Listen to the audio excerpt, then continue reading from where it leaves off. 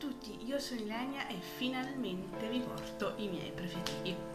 Essendo stato giugno un mese molto impegnativo a causa degli esami, oltre a mostrarvi i pochissimi libri che ho letto a giugno, vi voglio uh, dire anche i miei preferiti molto molto molto in generale. Quindi partiamo subito dai libri letti a giugno, perché sono veramente pochini. Partiamo dal primo che ho letto. Ve l'ho già mostrato, il cacciatore di aquilioni di Scarlett Osteini. Sto preparando una recensione su questo, quindi ve ne parlerò molto specificatamente nella recensione, perché sì, arriverà un giorno molto un altro libro che ho letto a giugno, che è stato praticamente l'ultimo perché sto andando non molto uh, a caso, giuro che non è a caso, ed è Il sangue degli altri di Andrei Sapowskis, non so come si pronuncia il cognome, ma lui. Eh, spero di concludere la serie prima di un determinato tempo. Quindi appena finirò tutta la saga perché è una saga uh, ve ne parlerò perché vorrei appunto avere più informazioni e non solo basandomi sul primo libro che è questo un altro libro che ho letto a giugno che è eh, il terzo e poi sono finiti perché sì, questi sono un po' molto povera, parlando di Morningstar, la guerra venditore di Chris Brown.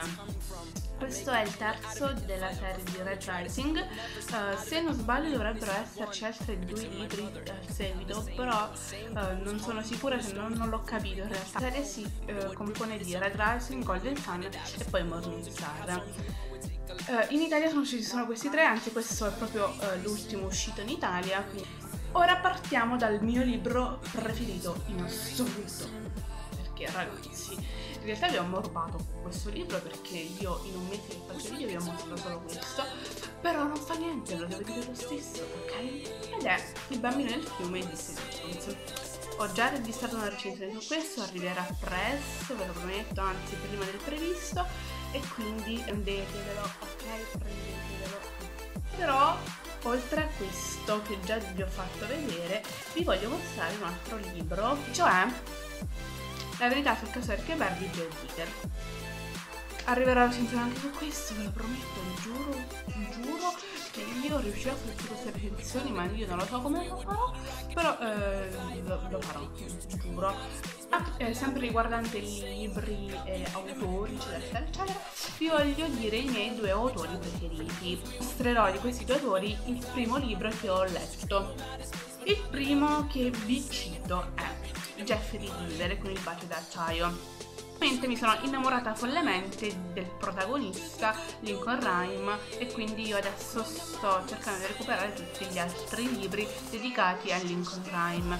Ovviamente poi il secondo autore che vi cito ovviamente è uno dei grandi scrittori americani che non potevo non citare perché io lo adoro parlando di Stephen King con l'ombra dello scorpione. Questo, questo, libro è un mattone, ma io tipo l'ho adorato dalla prima pagina fino all'ultima.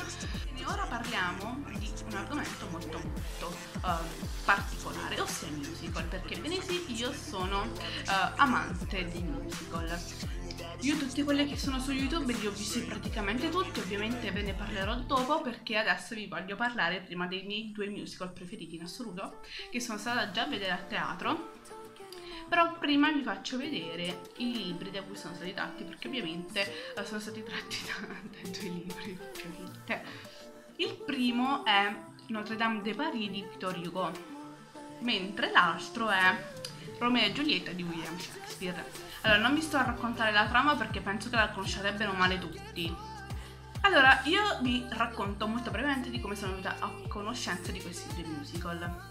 Allora, io da bambina amavo tantissimo i cartoni Disney, come penso un po' tutti quanti, perché non si possono non amare Disney, e in particolare mi piaceva tantissimo il gobbo di Notre Dame.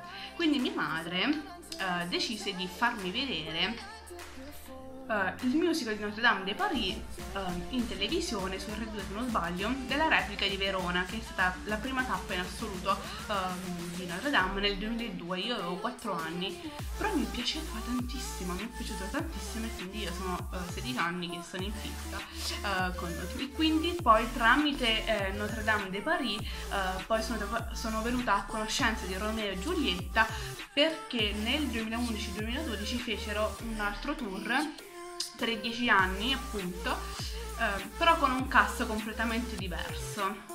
E eh, tra questo cast, eh, 10 anni di Notre Dame, c'è anche ehm, un attore che fa parte anche eh, del cast di Romeo e Giulia, ossia Riccardo Maccaferri che in Notre Dame fece, fece um, il poeta Gringoire mentre Romeo e Giulietta e Benvolio, eh, il cugino di Romeo quindi uh, innamorata follemente anche di uh, Romeo e Giulietta. E sono andata a vedere anche Romeo e Giulietta ovviamente perché sì. Ma partiamo da Notre Dame perché è stato il primo. Sono andata a vedere Notre Dame ho 14 anni due anni fa perché sono state la prima volta che sono venuti a Chieti poi anche l'anno dopo sono andata perché non potevo non andarci due volte.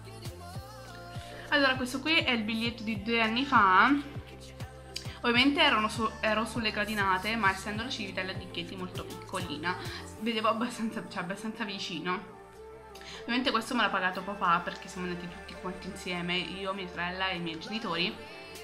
Ma l'anno dopo me lo sono pagata da sola perché Uh, avendo il bonus 500 euro di Renzi, mi sono ovviamente comprata quella da 90 euro, bello in prima fila, le poltrone, per poltrone erano sedie di plastica in realtà, eh, però sì, ero um, in quarta fila o quarta, quinta fila, comunque molto molto vicino, tipo ho adorato tantissimo. Questo è il biglietto di, dell'anno scorso, molto rovinato, ma è, è, una storia molto particolare, mi dispiace, ve la racconterò forse un giorno, ma sappiate che è una storia molto particolare mentre Romeo e Giulietta è stato molto recente, infatti sono stata a teatro uh, a Roma il 2 giugno alla Pola Lottomatica di Roma. Questo qua il biglietto l'ho comprato anche questo con i soldi di Renzi perché avendolo comprato uh, a dicembre per giugno uh, sono andata con, solo con mia mamma perché mio padre era uh, a lavoro poi non aveva voglia di vederci. E mia sorella proprio sì, figurati se mia sorella vuole venire fino a Roma a portare a me a vedere Romeo e Giulietta. Bene, spero che questo video vi sia piaciuto, uh, in tal caso lasciate un bel like, iscrivetevi al canale e attivate la campanellina così non perdete nessun altro video. E in giù in descrizione trovate il mio profilo Instagram se mi volete seguire anche su Instagram. Io ne sarò molto molto contenta. E noi ci vediamo alla prossima. Ciao! Tell me that you love me, even if it's fake, cause I don't fucking care